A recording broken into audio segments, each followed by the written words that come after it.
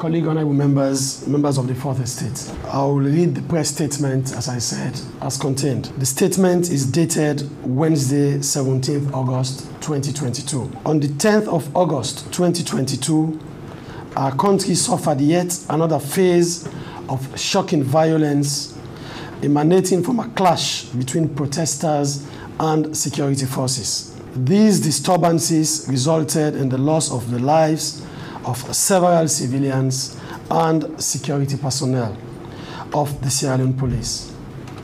Unfortunately, the painful event of August 10th continued for several days, further claiming the lives of citizens in harrowing circumstances, as in the cases of Hassan Dumbuya, commonly called Evangelist Samson, and some others. I continue to express my profound condolences to the families who lost loved ones. May their souls rest in perfect peace. As the nation grieves, let me state that I strongly condemn violence of any form and believe that there are much more progressive and constructive approaches to communicate our concerns, including peaceful protest. I will also reiterate that in any democratic dispensation, citizens have the right to use protest to demonstrate their concerns as long as those protests are peaceful and are within the remit of the law. Again, I note that citizens, including Mohamed Kamara, popularly known as Medke, of the All People's Congress, were arrested even before the 10th of August demonstrations and are still in detention. The event leading to and which unfolded on 10th of August 2022 provided a clear indication that there has been an erosion in the gains made in strengthening reconciliation, social cohesion, and peace building in post-war Sierra Leone. These events further point to the fact that we have not succeeded in using constructive means of dialoguing to maintain peace, stability, social cohesion, and security in our beloved country, Sierra Leone. More than ever before, there is a need for us to reverse this trend by reflecting on where we have gone wrong and what we can do to ensure that the gains made over the years to consolidate peace are not lost. Violence can only undermine stability and development. I therefore call on all Sierra Leoneans to remain calm and law abiding. And I call on the government to immediately take steps to ameliorate the situation by ensuring the following.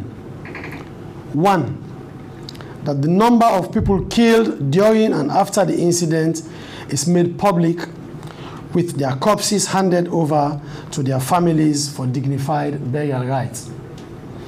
Two, that a record of all those incarcerated is provided to the public and their families granted access to them. The government should ensure that their rights are protected through speedy and fair access to a court of law. They should also be provided with legal representation where they cannot afford one.